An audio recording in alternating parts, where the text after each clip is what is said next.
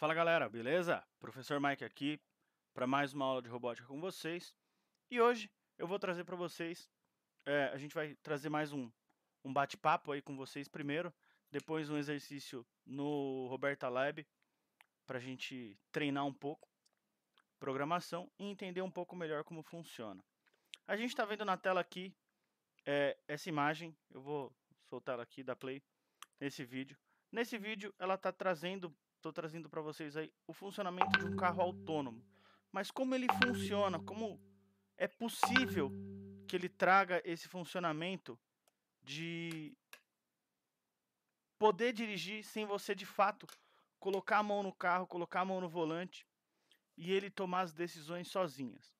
É um dos maiores empecilhos dessa tecnologia até hoje é com relação ao tempo de reação que esses carros terão para corrigir uma eventual, um, um eventual problema ou um, uma fechada, algo do gênero. E isso é o que mais é estudado para que a, os veículos autônomos, para que esse tipo de veículo se torne mais comum. Hoje existem várias empresas investindo nesse, nesse ramo. As mais conhecidas são a Tesla, que é o carro desse veículo. Temos a Uber, está investindo nisso. A 99 Taxi está investindo nisso. Temos também a Google investe nisso, a Microsoft investe nisso, a USP tem um braço dentro da USP que trabalha com isso. Então, existem várias empresas e várias é, universidades trabalhando para desenvolver essa tecnologia cada vez mais. Não é barato, não fica, é, não é fácil de se construir, e ela depende de uma série de análises de vários sensores para poder reagir e para poder agir de forma satisfatória. E um desses principais sensores que eles utilizam são sensores ultrassônicos, que vão medir a distância para determinados objetos.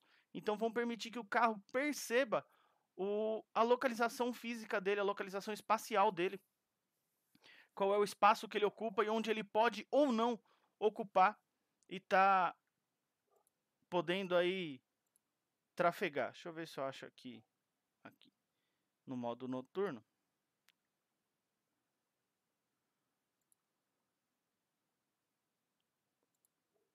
Cadê? Ah, o rapaz acho que aí não vai colaborar. O carro manobrando, inclusive guardando numa vaga, utilizando diversos sensores. Para isso, o carro ele não conta com ele conta com diversos sensores que vão formar uma certa redundância para o carro, para permitir que, se caso um sensor falhe ou um sensor comunique uma, um, uma informação errada, que os outros sensores não corroborem com aquilo e, se caso de fato ela esteja errada, o carro não execute determinada ação. Então, ele vai ter esses sensores em excesso justamente para permitir que o carro estacione sozinho, que o carro ande sozinho, e que em caso de algum tipo de, de erro de um sensor, o outro possa funcionar para evitar qualquer tipo de acidente. Bom, a Tesla é uma das pioneiras nesse, nesse sistema, é uma das empresas que primeiro se aventurou nisso. E, se eu não me engano, nesse carro ela é, ela é dotada de algo em torno aí de 12 a 16 sensores de distância na frente, nas laterais e na parte traseira para o carro se, loca se localizar. Além de sensores giroscópios, além de câmeras e outros sensores digitais e analógicos que permitem o funcionamento integral do carro. E como o sensor ultrassônico ele vai funcionar? O sensor ultrassônico ele envia ondas sonoras e essas ondas vão se impactar em objetos que estiver na frente dele ou na lateral, enfim, elas vão encontrar um objeto e vão retornar para o carro. E esse sensor faz essa leitura. Fazendo essa leitura, ele vai analisar aqueles dados para contabilizar qual a distância real dele de alguns objetos.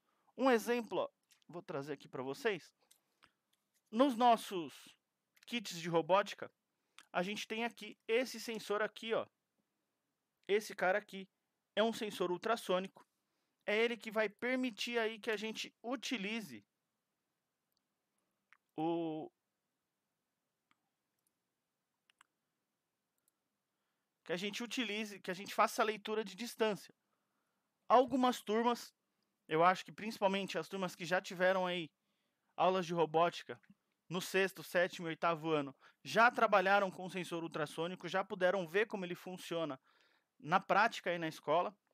E as outras a gente vai trabalhar de forma digital. Quem não conhece ele ainda, a gente vai trabalhar de forma digital. E assim que retornar às aulas, a gente vai começar a trabalhar com eles na prática aí na escola, com ele na mão, como ele funciona. Nesse vídeo tem uma demonstração do sensor ultrassônico ao identificar um, um animal na pista. É claro, nesse teste aqui eles usaram um, um, um balão, um animal inflável, justamente para não colocar a vida de nenhum animal em risco. E o carro faz a leitura desse objeto na pista e identifica como uma obstrução. E nessa obstrução, o, o carro vai identificar e parar. Nesse momento que o carro atinge o balão, é porque ele desligou o piloto automático, ou seja, ele desligou todas as funções que o carro teria para evitar esse tipo de acidente. Ó. Deixa eu voltar aqui. Olha lá, ele informa aqui embaixo, ó, o autopiloto, o piloto automático está desligado e o carro não vai fazer nada para evitar esse impacto. Já quando o piloto automático está ativado, ó, o próprio carro vai fazer essa leitura, vai sinalizar que tem um objeto à frente e vai parar. Os sensores, deixa eu voltar aqui, eles ficam posicionados nessa parte do carro, na parte de baixo, no retrovisor e no, no para-choque traseiro. Além de um sensor giroscópio que fica na parte, na coluna, se eu não me engano, do carro, na coluna C do carro aqui, que é nessa coluna aqui, que permite o carro saber qual é a direção que ele está andando, qual é o, o sentido que ele está andando.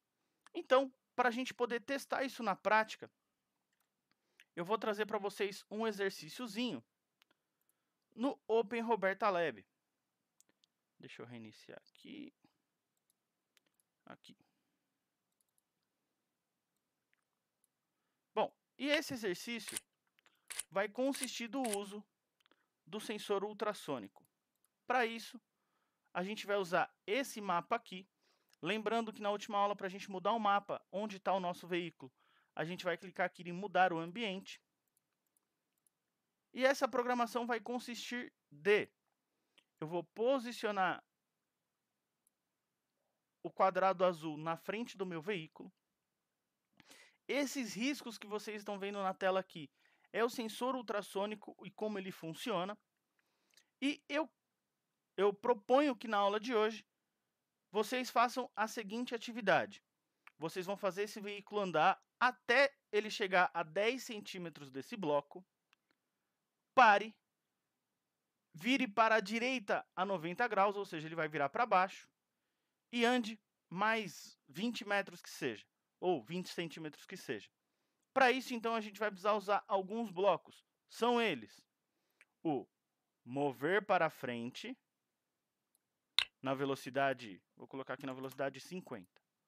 Vamos precisar do controle, e vou precisar que ele espere até alguma coisa, e no caso, ele vai esperar Aqui está o ler o sensor de toque. Ele vai esperar ler. Não é esse aqui não. Eu apagar aqui. Ele vai esperar ler a distância em centímetros do sensor ultrassônico. Aqui. Vamos lá.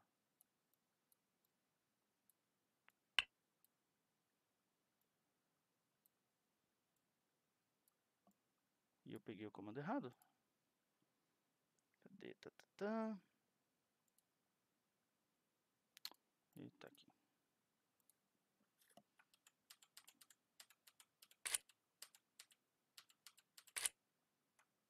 aqui. Vamos lá.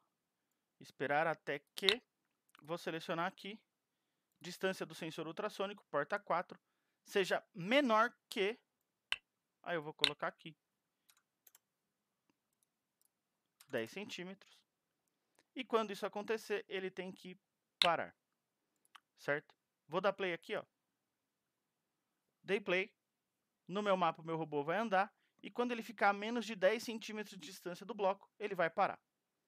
Beleza? Essa é a primeira atividade que eu proponho que vocês realizem agora. A segunda atividade vai ser... Ah, lembrando, ele tem que virar para a direita. Olha eu me esquecendo aqui.